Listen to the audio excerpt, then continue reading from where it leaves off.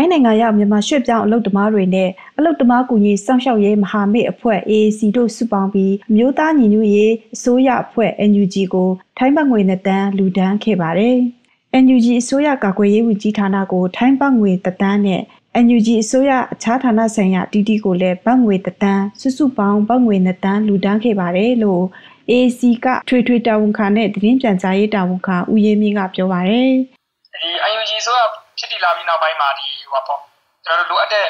သူတို့ဘက်ကလည်းဒီဘဏ္ဍာရေးဆိုင်ရာဘဏ္ဍာရှာဖွေးကော်မတီတွေဖွဲ့တယ်လေအဲ့အတွက်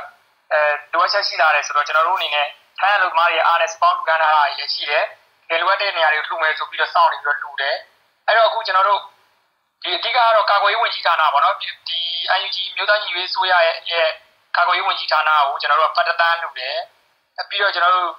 ကျမရေးဝန်ကြီးဌာနပေါ့နော်ကျမရေးဝန်ကြီးဌာနကိုကျွန်တော်တို့ ကျမရေးကိစ္စဆိုင်ရာများစောင့်ရှောက်နိုင်ဖို့ကိစ္စတွေမှာထူးထူးသုံးဖို့အတွက်ပတ်နှစ်သိန်းလူတယ်ပြီးတော့ကျွန်တော်တို့မြို့သမီးလူငယ်နဲ့ကလေးသူငယ်ရေးရာဝန်ကြီးဌာနဒုတိယဝန်ကြီးကြီးတင်စာမောင်တန်းကိုပတ်နှစ်သိန်းလူတယ်ပြီးတော့ CRY8 လို့ခေါ်တဲ့ကျွန်တော်ရန်ကုန်တိုင်းဒေသကြီးလွှတ်တော်ကိုစားပြုကော်မတီကိုပတ်နှစ်သိန်းလူတယ်အဲပြီးတော့နောက်တစ်ခုကအဲကျွန်တော်တို့ဒီ PDF ကတော့ကျွန်တော်ပတ်နှစ်သိန်းပဲခင်ဗျပတ်နှစ်သိန်းလူလိုက်ပါတယ် PDF တာဝန်ကပေါ့နော်တောင်ပိုင်းကိုပေါ့ထိုင်းရောက်ညီမတို့ဓမ္မတွေဒီလောက်ဆောင်နေတဲ့အနေအထားမှာတက်လာကြီးကြောက်ကြောက်ကြီးကြောက်ကြောက်ကြီးစားရလောက်ဆောင်နေတဲ့အပိုင်းမှာကျွန်တော် PDF တာဝန်ကတောင်ပိုင်းကိုလေပတ်နှစ်သိန်းဌာနပေါင်းစုံပေါ့ဌာန၅ခုကိုကျွန်တော်တို့ပတ်တန်ဆိုလိုတာတော့ကျွန်တော်တို့ IUG ဆိုရ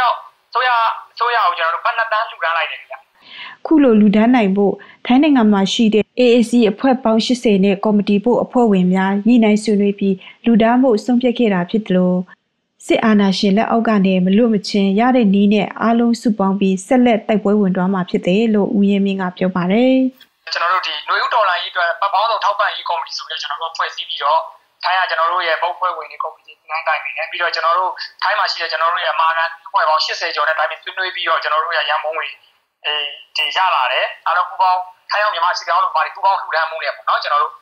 အရေးပါတဲ့နေရာကိုပြန်ကြည့်လိုက်တော့ဒီ IUG ရဲ့ဆိုရကလက်ရှိ အဲလှုပ်ဆောင်မှုတွေမှာလိုအပ်ချက်တွေရှိနေတယ်ကျွန်တော်တို့ ING ဆိုရကို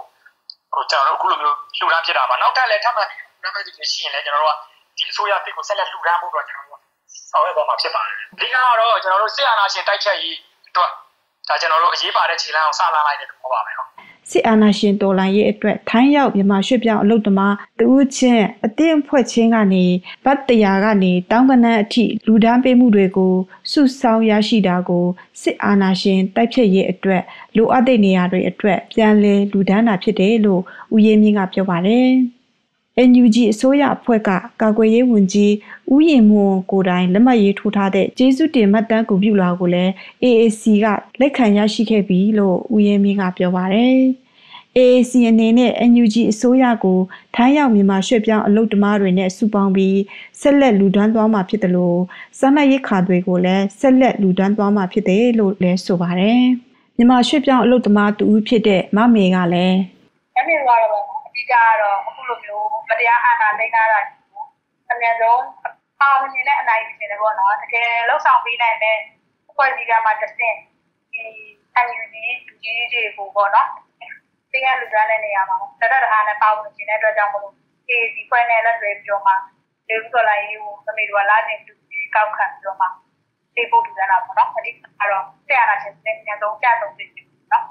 အများကြီးတော့ပြောကြမှာရှိပါဘူး ကျမတို့ဒီရဲဘော်ပြန်အောင်မြင်ဖို့အတွက်ကတရကထောက်ပံ့ရတာပဲအများကြီးပါတာ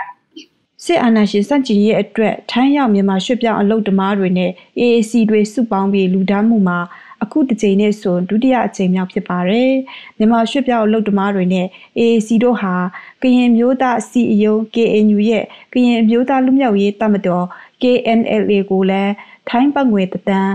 မြန်မာငွေသိန်း450ကျော်ကို ပြီးခဲ့တဲ့ဧပြီလ16ရက်နေ့ကလူဒန်းခဲ့တယ်လို့စားနပ်ရိက္ခာကအစည်းရဲ့80ကျော်ကိုလည်းလူဒန်းခဲ့ပြီးဖြစ်တယ်လို့ဦးရဲမင်းကပြောပါတယ်။ပြည်ထောင်စုတမရမြန်မာနိုင်ငံမြို့သားညီညွတ်ရေးအစိုးရအဖွဲ့ NUG ရဲ့ဗဏ္ဍာရေးကော်မရှင်ကိုမေလ6ရက်နေ့ကဖွဲ့စည်းလိုက်ပါတယ်။ကျမလူဆိုင်မှာ